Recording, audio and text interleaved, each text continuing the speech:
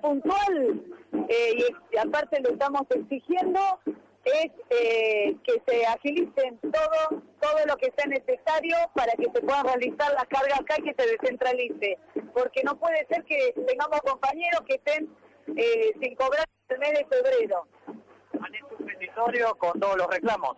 Exactamente, nosotros eh, ahora de, eh, dentro de, un ratito vamos a estar en forma conjunta con la FED, vamos a estar entregando eh, una nota al Consejo Escolar, a la SAD y a la inspectora jefe distrital solicitando eh, que se haga, se empiece a trabajar, pero profundizando el tema de la descentralización.